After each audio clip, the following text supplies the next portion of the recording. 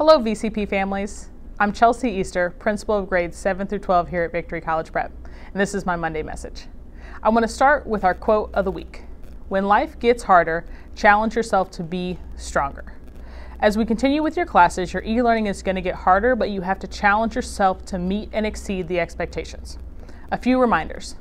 One, all Zooms are mandatory. Check your schedule on the website to make sure you know when to log on and be present in all of the Zooms. Two, all of your Schoology assignments need to be completed and submitted. About half the assignments this week got done, but they didn't get submitted, so it's harder for your teachers to grade them.